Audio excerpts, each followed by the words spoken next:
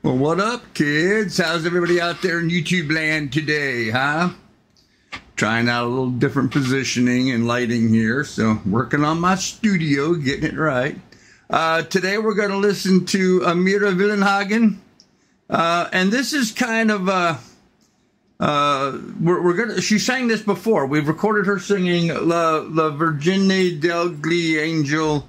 Um, but not here, not in this concert, not this performance. So this will be something old and something new all at the same time. Um, same singer, same song, different location, different presentation. So uh, I hope you'll uh, I hope you'll get into this. But while I'm setting this up, go ahead, give us a big old thumbs up, like and subscribe, ring a ding ding the bell so you get notifications. And here we go.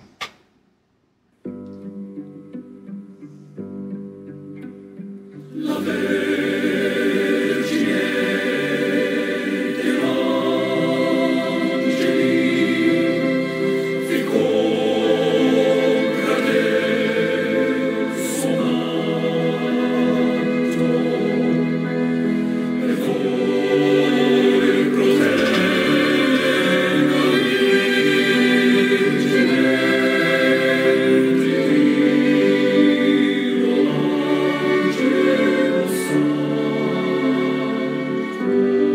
That's just beautiful.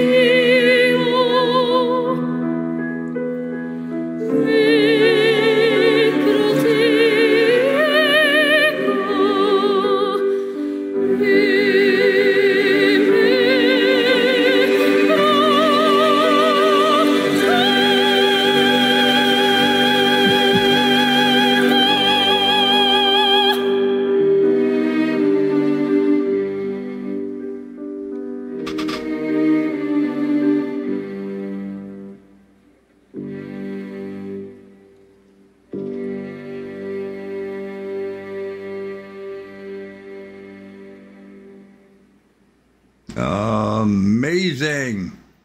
Amazing, right? The Virgin Angel. I mean, that's what the song's supposed to be, right? The Virgin Angel. Certainly appropriate for our girl in Amira. Um,